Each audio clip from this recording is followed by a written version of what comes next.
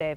The big story tonight, targeting the UAW. The union president's home at the center of a series of raids and a corruption investigation. Chopper 7 over the Canton Township home of UAW President Gary Jones. Agents from the FBI, the IRS, and the Department of Labor moving in. 7 Action News has learned this is just one of several raids throughout the country.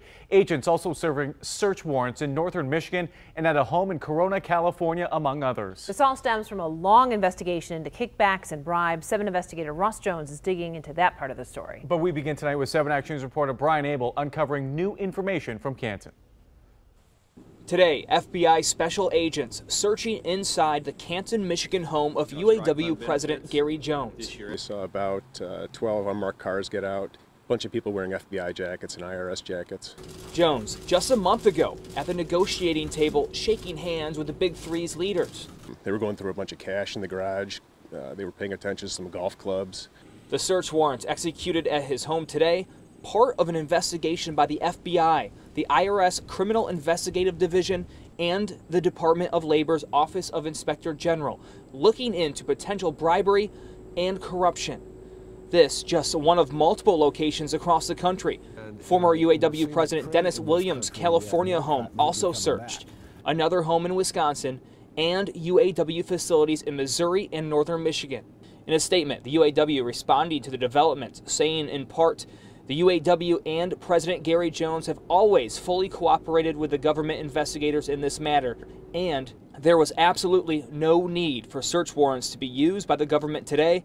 The UAW has voluntarily responded to every request the government has made throughout the course of its investigation. The FBI presence at a critical moment for the UAW as they're about to set a strike target with either Ford, GM, or Fiat Chrysler. The escalated investigation likely to sow further seeds of distrust among rank and file members who support UAW negotiators' need. And that was Brian Abel in Canton. Brian, thank you. Our big story coverage continues now with 7 investigator Ross Jones. And Ross, this isn't the first time a UAW official has been in the Fed's crosshairs, right? That's right, Heather. Just a few weeks ago, a one-time UAW vice president was sentenced for accepting lavish gifts he never should have. What can you say to the rank and file who've lost confidence in you?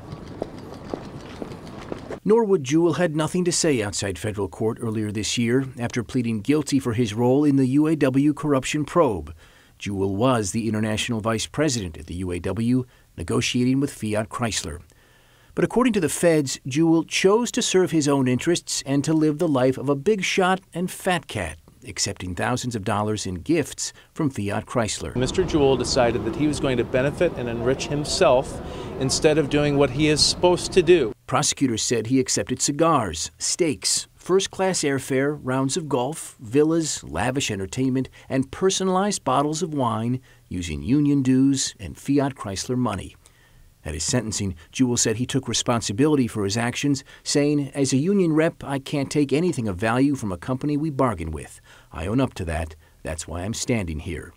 His attorney blamed a cesspool of corruption that existed around his client. And last April, after Norwood's guilty plea, U.S. Attorney Matthew Schneider said his probe into UAW corruption was far from over. We're going to continue our investigation until we can ferret out all of the aspects of where the union leadership actually serves the men and women of the union.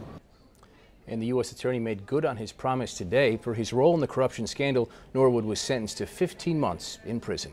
In the newsroom, I'm Ross Jones. 7 Action News. All right, Ross, thank you. And for more on the raids happening today and how they're connected to former UAW President Norwood Jewell, head to our website, WXYZ.com.